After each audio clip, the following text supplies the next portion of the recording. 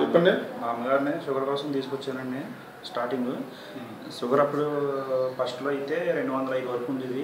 పదిహేను ట్రీట్మెంట్ల తర్వాత నూట ఆరు వచ్చింది షుగర్ ఇప్పుడు ఎలా ఉంది షుగర్ విషయంలో? షుగర్ ఇప్పుడు బాగా కంట్రోల్లో ఉంది బాగా. రిపోర్ట్స్ చూపించు.